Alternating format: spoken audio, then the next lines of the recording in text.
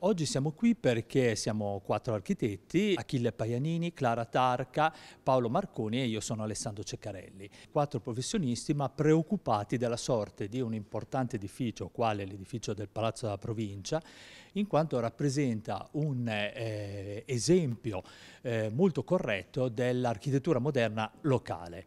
Eh, ora l'idea di eh, trasformarlo eh, è possibile, ma occorrono una serie di attenzioni. Ci sembra che nel dibattito politico e amministrativo che c'è, eh, questo tema non venga affrontato e noi siamo qui oggi proprio per ribadire questo.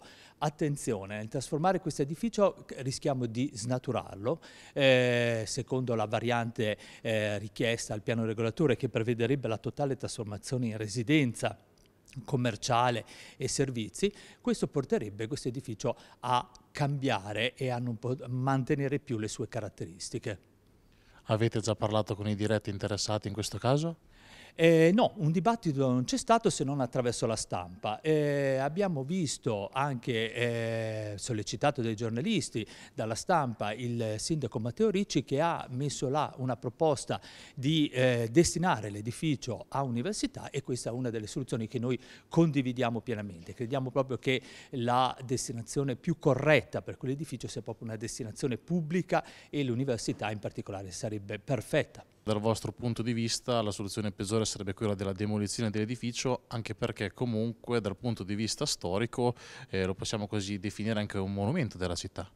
Esattamente, la demolizione è la cosa più assurda che possiamo eh, pensare, eh, proprio perché ormai l'edificio è entrato a far parte dell'immaginario, dell'identità della nostra città e perché, ripeto, rappresenta un ottimo esempio, un monumento di architettura moderna che ormai in tutta Italia, ma in tutto il mondo, si sta procedendo a conservare e a tutelare.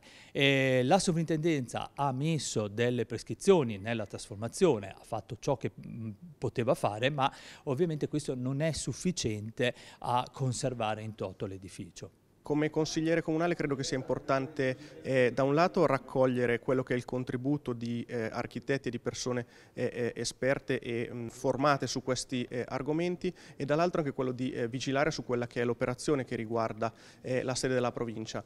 in questo momento ancora non abbiamo certezze di alcun tipo su quello che sarà l'iter urbanistico e quella che sarà la visione di questo luogo. È un luogo importante che è importante salvaguardare, è un luogo di pregio artistico-architettonico, ma soprattutto quello che ci interessa interesse è quello di capire quale sarà il percorso che verrà fatto su questo eh, edificio, perché ad ora non si sa eh, sostanzialmente nulla, non si hanno garanzie su come verrà trattato l'attuale edificio e su dove andrà a finire eh, il prossimo edificio. Ecco, come consigliere comunale cercheremo di vigilare su tutto questo percorso per fare in modo, per esempio, che non succeda la stessa cosa che è successa all'ex Bramante, quindi eh, una vendita che ha portato sostanzialmente a un immobile eh, bloccato e eh, fermo in degrado in pieno centro storico.